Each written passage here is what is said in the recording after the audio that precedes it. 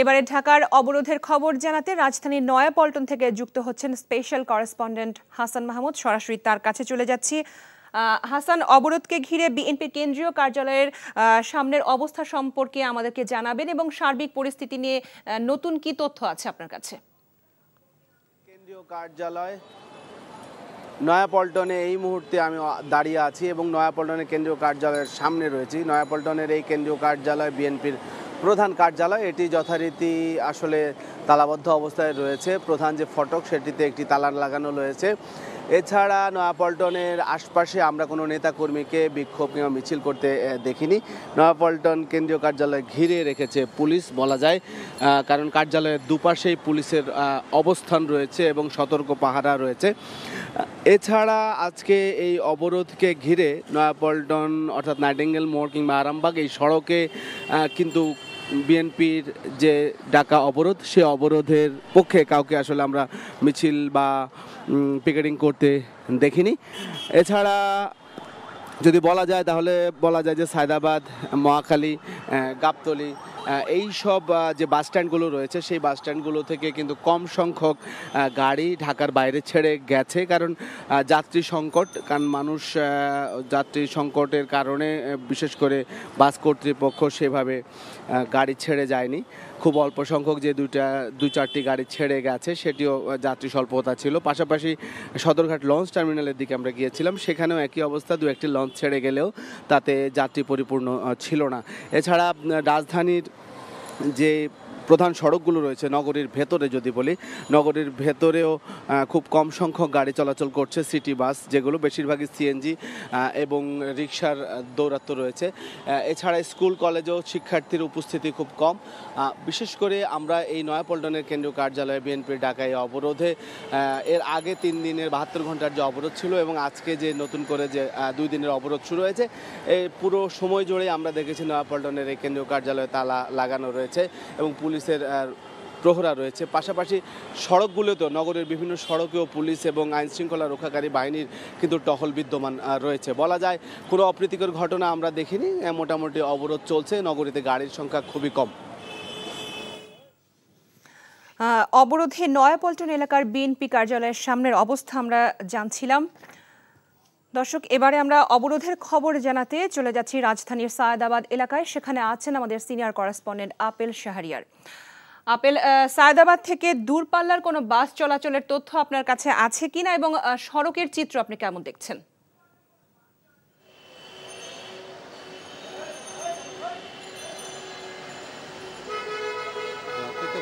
যে সকাল থেকে আমি Sayedabad bus terminal Gabtali bus terminal এগুলো ঘুরে দেখেছি মূলত দূরপাল্লার কোনো বাস এখন পর্যন্ত এই ঢাকা থেকে ছেড়ে যায়নি একই তো যাত্রী সংকট তার উপর আসলে বাসে আগুন লাগার শঙ্কা এই জন্য আসলে দূরপাল্লার বাসগুলো চলাচল করছে না আর তবে ঢাকার আশপাশের যে জেলাগুলো রয়েছে যেটা আমি এর আগের সংবাদও যেটি বলেছিলাম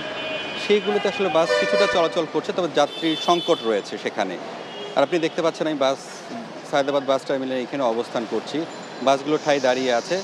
এবং বাস কাউন্টারে যারা আছেন তারা আসলে যাত্রীর অপেক্ষায় রয়েছেন যাত্রী যদি পান তাহলে আসলে বাসগুলো তারা ছেড়ে যাবেন আর সার্বিক চিত্র যদি আমি আপনাকে বলি যে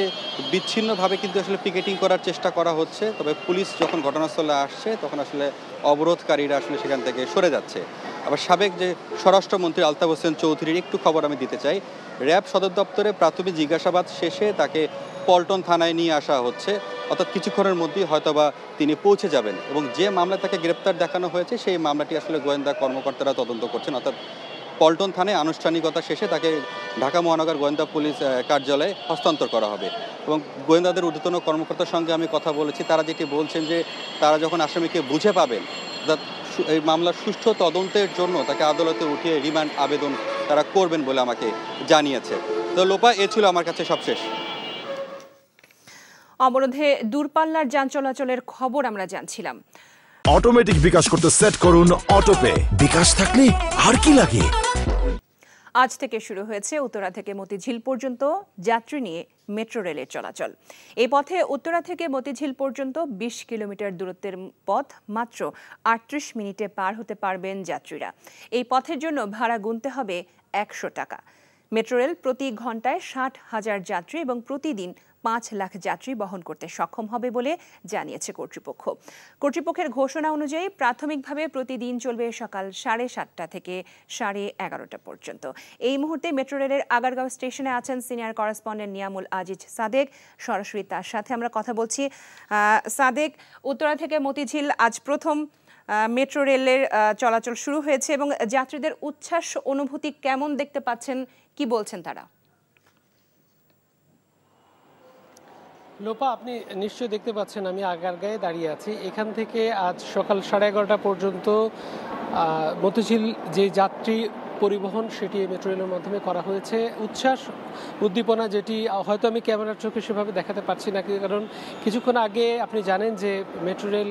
প্রায় পাঁচ থেকে দশ মিনিট পর পর আসে এবং সেখানে প্রচুর পরিমাণ মানুষ ওঠে এবং তাদের উৎসাহ উদ্দীপনা যদি আমি বলি তাদের সাথে কথা বলেছিলাম তারা বলেছে যে এটি একটি অসাধারণ কাজ কারণ তারা যে যানজটের যে দীর্ঘ ভোগান্তি কিংবা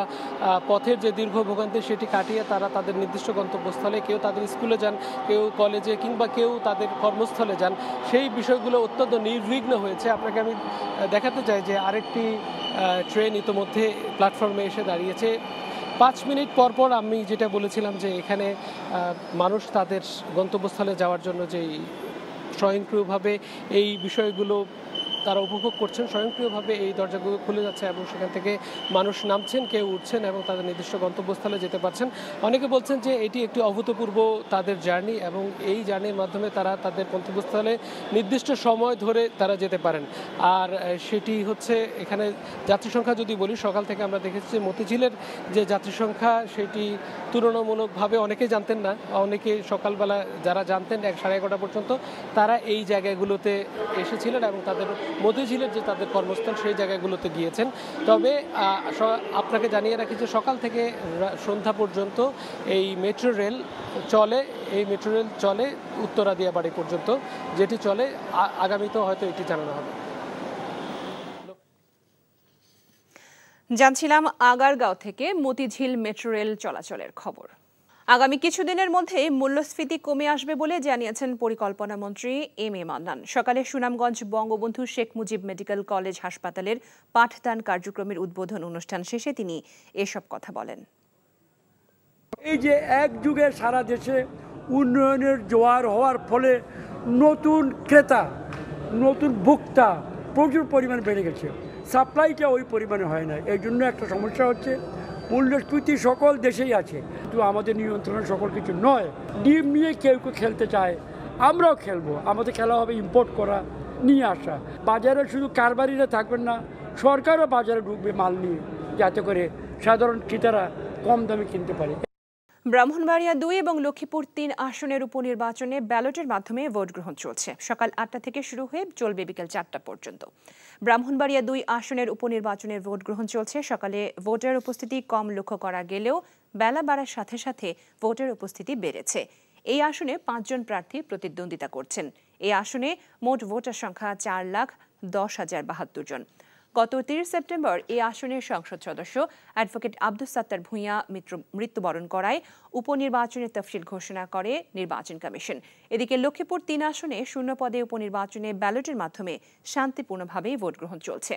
এই আসনে আওয়ামী লীগ সহ চারজন প্রার্থী প্রতিদ্বন্দ্বিতা করছেন তিরিশ সেপ্টেম্বর লক্ষ্মীপুর তিন আসনের সংসদ সদস্য A K M Shahjahan Kamal মারা যাওয়ায় আসনটি শূন্য হয় এই আসনে চার লাখ তিন হাজার সাতশো চুয়াল্লিশ জন ভোটার রয়েছে অটোমেটিক বিকাশ করতে সেট করুন অটোপে বিকাশ থাকলে আর কি লাগে